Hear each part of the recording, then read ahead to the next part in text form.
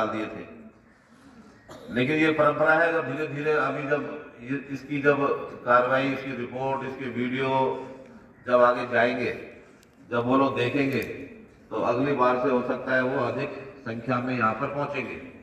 लेकिन जो भी है है वो हमारे लिए जो है आदरणीय है। उनका बहुत बहुत धन्यवाद। उन्होंने अपना समय यहाँ पे निकाला।